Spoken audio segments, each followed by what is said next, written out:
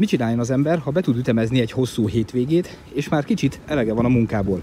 Hát ütemezzen be egy hosszú hétvégét. Szerencsére egyedül is egész ügyesen meg tudok tölteni egy egész csomagtartó cuccal, úgyhogy akkor irány Ausztria.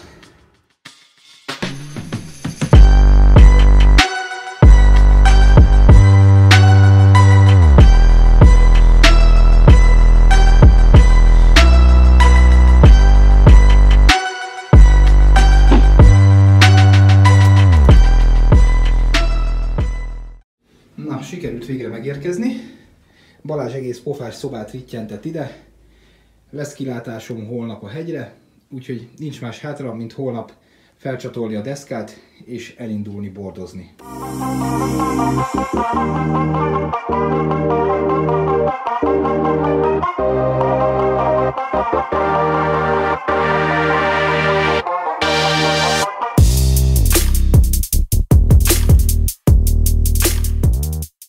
Lent a völgyben nagyjából 6 fok van. Reméljük, hogy ez a csúcson egy kicsit jobb lesz. Bár napközben erős felmelegedés várható, legalább lesz egy kis kásás havunk.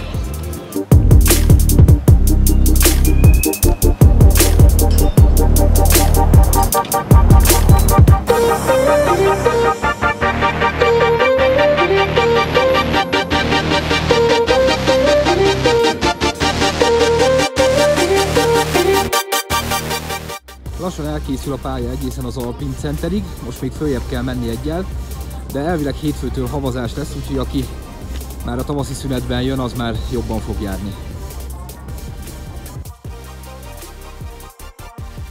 Hát nehéz lenne azt mondani, hogy ideális körülmények vannak. Hogy szokták mondani, szépen kifagyottak a pályák, tehát érges, mint az állat. De hát nyilván ezt is meg kell tanulni valamikor.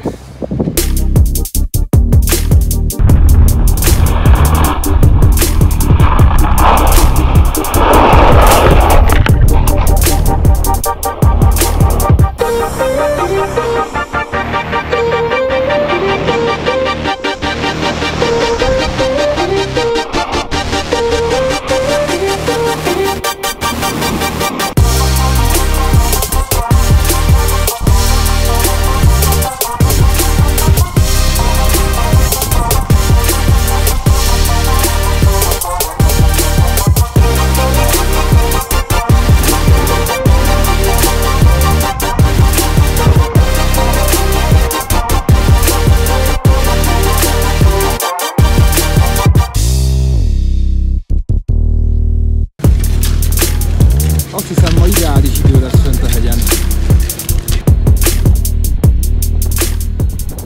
Ilyen az, amikor lent pánikolsz a rossz időtől, feljössz a csúcsra, és ez van mögötted.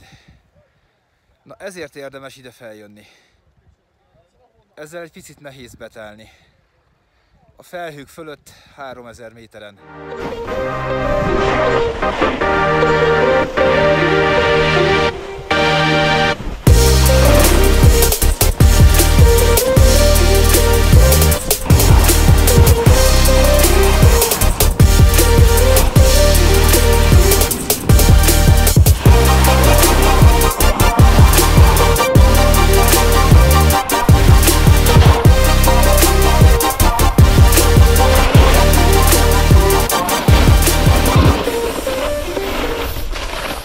Megvolt az utolsó kör. Hát régen feljöttem ennyit három nap alatt, mint most Attilával, ezúton is köszönöm neki. Gyakorlatilag ezt magadtól nem tudod behozni szerintem. Tehát nézhetsz akármennyi videót, ezt nem fogja kiadni, mint amikor egy oktató elmagyarázza neked, hogy mit kell csinálni. Most már csak annyi energia maradt bennem, hogy lecsúszok a középső állomásig, végre megcsinálták a pályát odáig, aztán irány haza, mert azért még egy 8 óra út előttem van. Auf Wiedersehen, Gletscher! Egész fasz ez a friss hó, amit ide terítettek. Végre nem jégen kell csúszni.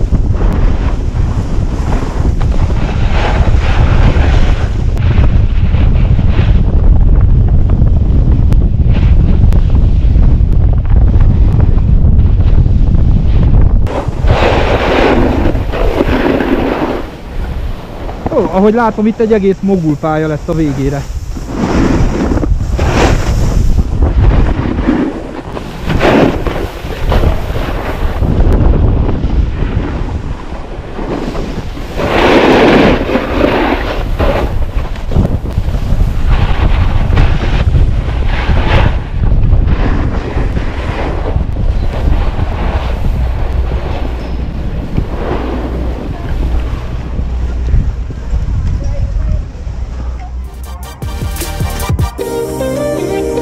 Genau,